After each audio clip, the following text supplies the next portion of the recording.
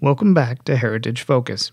Today we're looking at the Pentax 645 75mm f2.8 on the Fuji GFX 50R. This lens would be considered a normal lens, meaning it's roughly equivalent to a 50mm lens in full frame terms. There are three different versions of this lens. The first two were introduced in 1984 along with the Pentax 645 camera.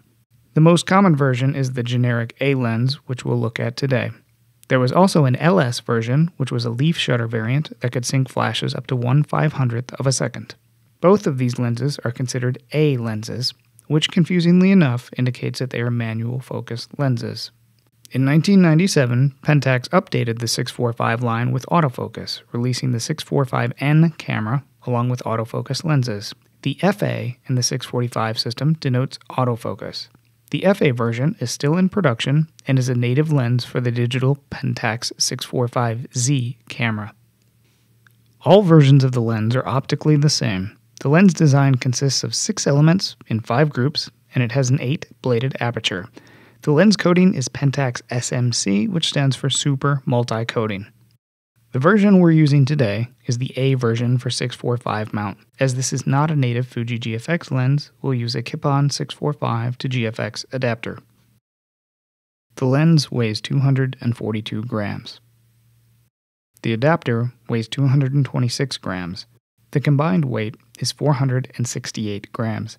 This lens is a manual focus lens with full aperture control on the side. The aperture range is from f2.8 to f22. The focus throw is roughly 180 degrees.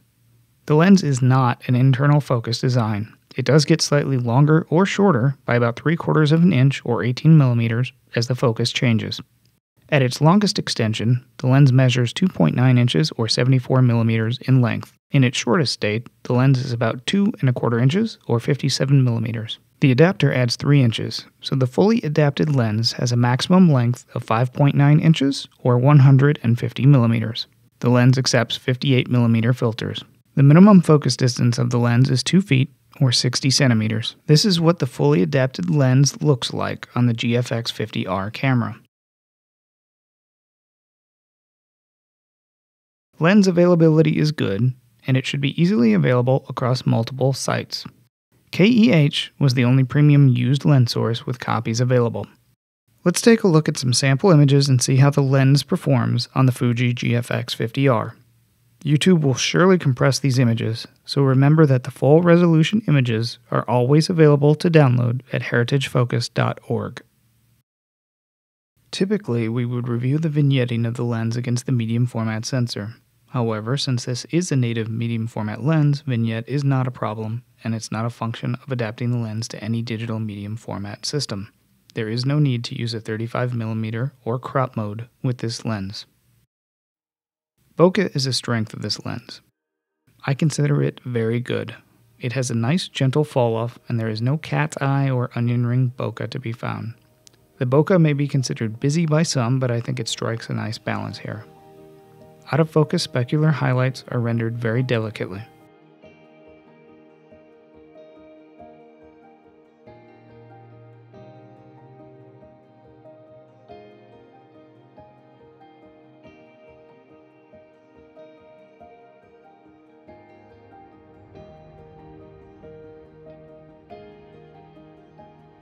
The lens has excellent flare control and is really very gentle in handling direct sun shots. Chromatic aberration is very well controlled on this lens.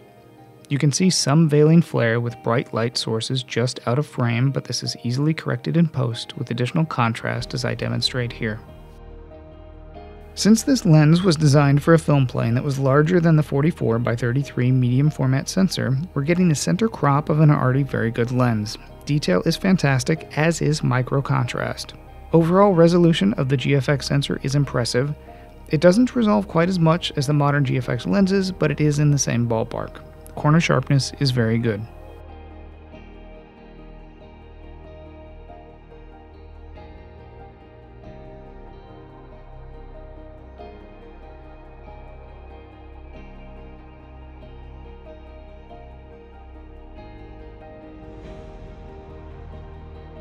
Paired with the GFX 50 megapixel sensor, the colors this lens provides are stunning.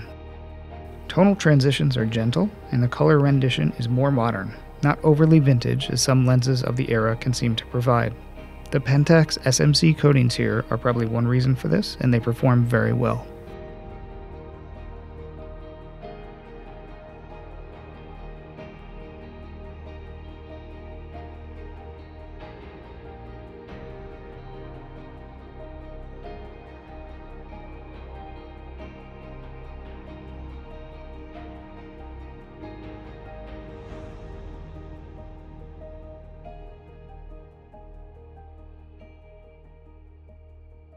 Now it's time for the HTSA. The HTSA is our patent pending, heritage focused, highly technical, subjective analysis.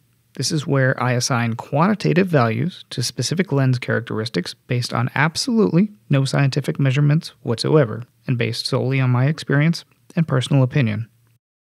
This HTSA is brought to you by no one because I don't have any sponsors. Company. Insert tagline here. When it comes to bokeh, I rated it a 9 out of 10. It's possibly one of my favorite lenses for bokeh. Color is another strong suit, receiving 9 out of 10. Character is a step back from modern optics, but not as far back as, say, a Helios 44, 8 out of 10. Flare control is amazing. SMC coatings here rival the best from Zeiss and Leica, 9 out of 10. Size is great. This is one of the smallest lenses for any medium format system, 9 out of 10. Weight is good by medium format standards, but nothing special. It weighs the same as a Summilux M 50mm, 8 out of 10. Price is probably the best part of this lens. It's a hidden gem, and hopefully it remains affordable, 10 out of 10. That's it for the Pentax 645 75mm f2.8. Thanks for watching. If you enjoyed the content and found it useful, please do the thing and the other thing. Do you have a favorite adapted lens you use, regardless of which camera system? I'd love to hear about it in the comments. Maybe we'll feature it next. Thank you again for watching Heritage Focus. Remember that you can always download the full resolution samples of the images shared today at heritagefocus.org.